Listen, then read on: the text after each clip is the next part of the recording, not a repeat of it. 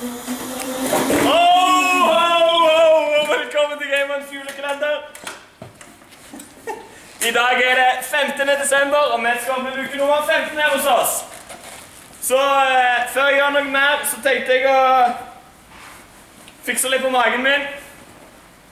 Og svare på gårsdagens spørsmål. Og som dere kan se, her på Gameon så har vi to pakkebord. Det var alternativ nummer én. Så for som svarte rett, gratulerer dere med trekningen av vesten. Og til dere som svarte feil, lykke til i dag, i morgen, overmorgen, videre. Før vi introduserer dagens tilbud, så vil jeg spørre om dagens spørsmål. Og det er tid kommer posten og henter våre pakker her hos Gamon? Våre ordrer som blir sendt ut til alle dere i hele Norges land.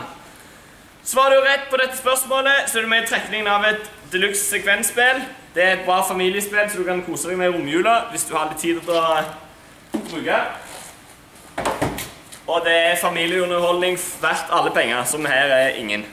Eh, alternativ 1 er klokka halv fem, alternativ 2 er klokka halv syv, og alternativ 3 er klokka halv ni. Så eh, det er egentlig bare gjetting. Kan eh, sikkert prøve å ringe ned og spørre, men eh, kanskje vi ikke tar telefonen. Neida, det var bare en tull. Vi tar alltid telefonen her hos gameren. Så dagens tilbud er ganske bra.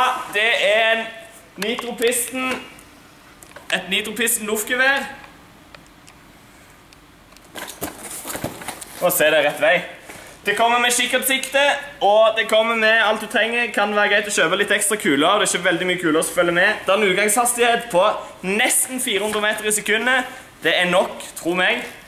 Og det kommer med kikkertsikte, og i dag så er det på nesten 35% tilbud, så du får det til kun 1499 kroner. Vanlig pris er 2249. Anbefaler folk å slå til. Det er en fantastisk julegave til han på eh, gjerne 15, 20, 30, 50 år som liker å skyte litt og kose seg, skyte på blink, og kan like å skyte på.